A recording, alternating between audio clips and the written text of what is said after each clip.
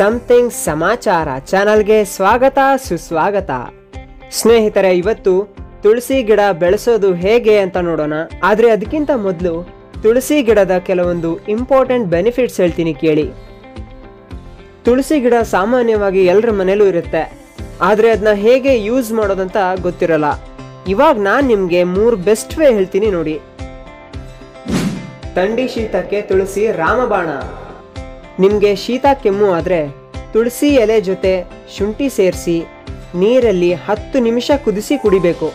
ಹೀಗೆ ಮಾಡಿದ್ರೆ ಕೆಮ್ಮು ಶೀತ ಕಡಿಮೆ ಆಗುತ್ತೆ. ತಲೆನೋವು ಮಾಯವಾಗುತ್ತದೆ. ತಲೆನೋವು ಅಥವಾ ಹೆಡೇಕ್ ಬಂದರೆ ತುಳಸಿ ಎಲೆ ತಿನ್ನಿ. ಇದರಿಂದ ತಲೆನೋವು ಕಡಿಮೆ ಆಗುತ್ತೆ. ನೆನ್ಪಿಡಿ, ತುಳಸಿನ ಆಂಟಿ ಸ್ಟ್ರೆಸ್ ಏಜೆಂಟ್ ಅಂತಲೂ ಕರೀತಾರೆ. ಇದು ನಮ್ಮ ಬಾಡಿಯ ಬ್ಲಡ್ ಫ್ಲೋ ರೇಟ್ ಇಂಪ್ರೂವ್ ಮಾಡುತ್ತೆ. ಲೂಸ್ ಮೋಷನ್ಗೆ ಇನ್ಸ್ಟಂಟ್ ರಿಲೀಫ್ ತುಳಸಿ ಎಲೆಗೆ ಜೀರಿಗೆ ಮಿಕ್ಸ್ ಮಾಡಿ ಅದನ್ನ ಪೌಡರ್ ಅಥವಾ ಪೇಸ್ಟ್ ಮಾಡ್ಕೊಳ್ಳಿ. ಇದಕ್ಕೆ ಒಂದು ಸ್ಪೂನ್ ಜೇನುತುಪ್ಪ ಸೇರಿಸಿ ತಗೊಂಡ್ರೆ ಲೂಸ್ ಮೋಷನ್ಗೆ ಇನ್ಸ್ಟಂಟ್ ರಿಲೀಫ್ ಸಿಗುತ್ತೆ. ಸೊ ನೋಡೋದ್ರಲ್ಲ ತುಳಸಿನ ಹೇಗೆ ನಮ್ಮ ಡೈಲಿ ಲೈಫಲ್ಲಿ ಯೂಸ್ ಮಾಡೋದು ಅಂತ? ಹಾಗಾದರೆ ಬನ್ನಿ ಈ ತುಳಸಿ ಪ್ಲಾಂಟ್ನ ಹೇಗೆ ಬೆಳೆಸೋದು ಅಂತ ಹೇಳ್ತೀನಿ. ತುಳಸಿ ಗಿಡ ಬೆಳೆಸೋದಕ್ಕೆ ಮೊದಲು ಒಳ್ಳೆ ಜಾಗ ಬೇಕು. ನಿಮ್ಮ ಮನೆ ಹತ್ರ ಜಾಗ ಇಲ್ಲ ಅಂದರೆ ನೀವು ಪಾಟಲ್ಲಿ ಕೂಡ ಬೆಳೆಸ್ಬೋದು.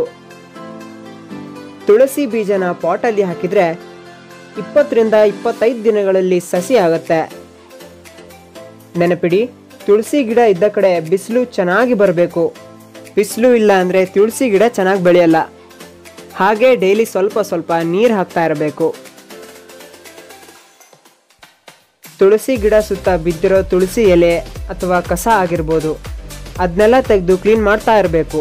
ಯಾಕಂದರೆ ಹಾಗೆ ಬಿಟ್ಟರೆ ಎಲ್ಲ ಕೊಳೆತು ಕ್ರಿಮಿಗಳಾಗಿ ತುಳಸಿ ಗಿಡ ಡ್ರೈ ಆಗ್ಬೋದು. ನೆಕ್ಸ್ಟ್ ಪಾಯಿಂಟ್ ಏನಂದರೆ ತುಳಸಿ ಗಿಡ ಸುತ್ತ ಇರೋ ಮಣ್ಣು, ಅದು ಗಟ್ಟಿ ಆಗೋಕೆ ಬಿಡಬಾರ್ದು. ಮಣ್ಣು ಲೂಸ್ ಆಗಿ ಇರಬೇಕು. ಅದಕ್ಕೆ ಏನು ಮಾಡಬೇಕಂದ್ರೆ ಒಂದು ಕೋಲು ಅಥವಾ ಸ್ಕ್ರೂ ಡ್ರೈವರ್ ತಗೊಂಡು ಅದರಿಂದ ಮಣ್ಣನ್ನು ಲೂಸ್ ಮಾಡಿ. ಹೀಗೆ ಮಾಡೋದ್ರಿಂದ ತುಳಸಿ ಗಿಡಕ್ಕೆ ಮಾಯಿಶ್ಚರ್ ಮತ್ತು ಏರ್ ಸಪ್ಲೈ ಚೆನ್ನಾಗಾಗತ್ತೆ. ನಿಮ್ಮ ಮನೇಲಿ ತೆಂಗಿನ ಸಿಪ್ಪೆ ಇದ್ದೇ ಇರುತ್ತೆ. ತೆಂಗಿನ ಸಿಪ್ಪೆ ವೇಸ್ಟ್ ಅಂತ ಎಸೆಯೋ ಬದಲು ಅದನ್ನ ನೀಟಾಗಿ ತುಳಸಿ ಗಿಡ ಸುತ್ತ ಇಟ್ಟರೆ ಸಾಕು. ತೆಂಗಿನ ಸಿಪ್ಪೆ ಮಾಯ್ಶ್ಚರ್ನ ಹೋಲ್ಡ್ ಮಾಡುತ್ತೆ. ಇದರಿಂದ ತುಳಸಿ ಗಿಡ ಹಸಿರಸಿರಾಗಿರುತ್ತೆ. ನೀವು ತುಳಸಿ ಗಿಡಕ್ಕೆ ಗೊಬ್ಬರ ಕೂಡ ಹಾಕ್ಬೋದು. ಇದರಿಂದ ತುಳಸಿ ಗಿಡಕ್ಕೆ ಒಳ್ಳೆ ನ್ಯೂಟ್ರಿಷನ್ ಸಿಗುತ್ತೆ. ನೆನಪಿರ್ಲಿ, ಗೊಬ್ಬರ ಜಾಸ್ತಿ ಹಾಕಬೇಡಿ.